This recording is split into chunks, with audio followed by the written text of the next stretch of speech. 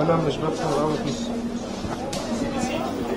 قوي في حبيبي معتز بالله عماد الدين فوزي خدنا الاسم خدنا الاسم معانا ولا إيه؟ طب نسجل تاني؟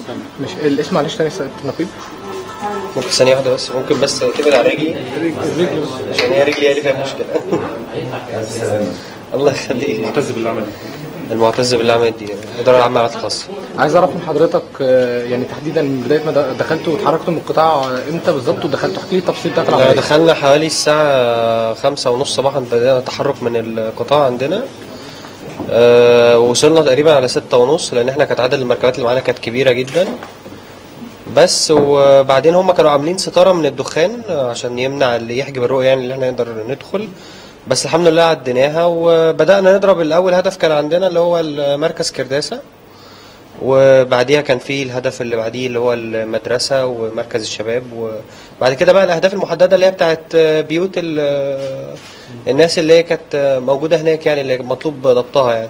بس فاحنا في الهدف رقم أربعة أو ثلاثة مش متذكر يعني حصل إن هو ال- الواقعة اللي حصلت يعني. بالظبط يعني تم التعامل أنتوا كنتوا مثلا بتقتحموا وضربتوا إطلاق نار؟ لا إحنا ما ضربناش إحنا يا دوبك أول ما دخلنا ناحية الباب البيت هو رمى قنبلة من الدور الأول.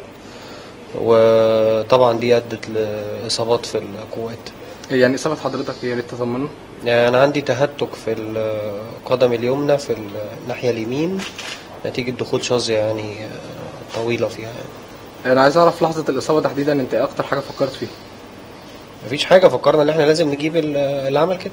فكرتش في أسرتك في البيت عندك لما عرفوا الخبر؟ يعني الوضع كان إزاي؟ أنت طبعا الاصابه بتاعت لا الحمد لله على كل شيء. لا طبعا يعني ما الحمد لله إحنا بنفكر في شغلنا و...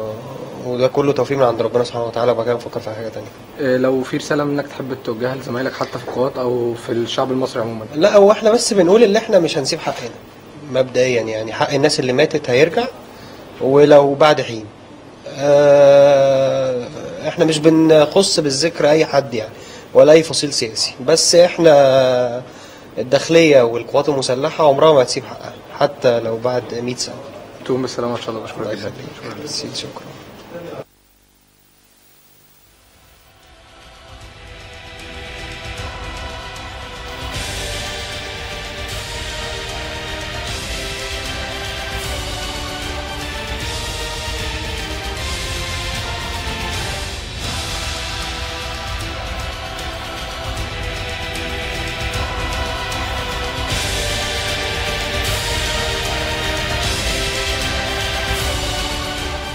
في الجيزة كيلو عشرة ونص في الجيزة طريق مصر اسكندرية الصحراوي عمليات خاصة.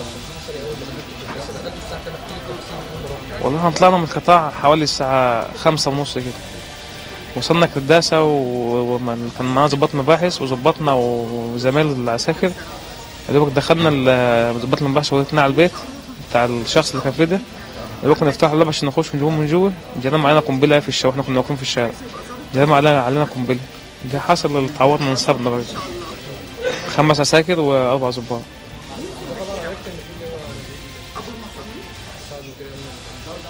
آه بطلب ميت هنا أنا كنت شرف انا هناك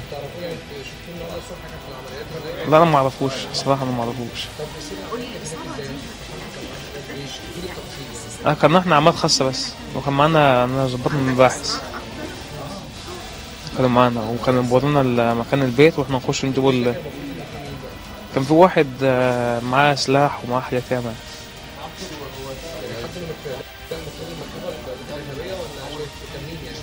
لا ما أعرفش والله بقى هو كان تبع الإرهاب ولا بلطجي وكلام من. لا هي دلوقتي إحنا كنا داخلين نقتحموا البيت ونجيبوا الشخص من جوه وإحنا بنفتح الباب جرى علينا قنبله وبعد كده ما حدش شافه بقى. هي ما كل ما صابوا ظباط وعساكر من القنبلة دي. بس. الله يسلمك يا باشا الله يخليك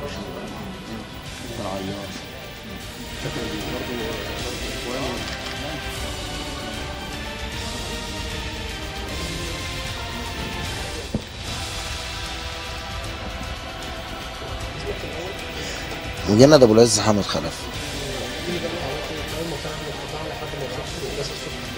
أول ما طلعنا قفزنا عادي. وركبنا العربيات وطلعنا على كرداسة ضرب نار وشغل عصابات جامدة يعني و... آلي وكل يعني أي حاجة تتصورها كانوا ضربوا بيها. وفي أول الدخلة ضربوا علينا برضه جنابل بس الحمد لله يعني ما انفجرتش فلما دخلنا جوه اقتحمنا عمارة. يا دوبك الواد دخلنا بنخبطه في الباب نفت نكسروه. راح رامي القنبلة من فوق. عبال ما ناخد السواتر فانفجرت القنبلة. انصبنا أنا وزميلي. عبد أبو واحد وظباط تاني. فيعني الحمد لله. أكيد. الإصابة بتاعتي كسر في فوق صباعي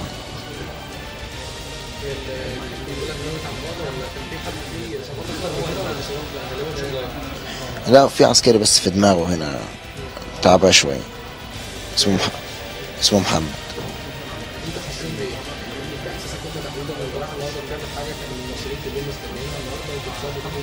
والله يعني كنت نفسي إن أنا أعمل حاجات أكتر من كده.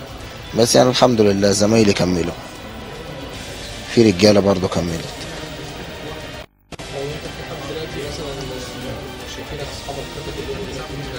أقول لهم ما تخافوش. طول ما الأمن ماسك نفسه محدش يخاف. وأي حد خارج على القانون هيجي. هيجي. وأي مصاب هنجيبه له حقه. بعون الله. شكرا.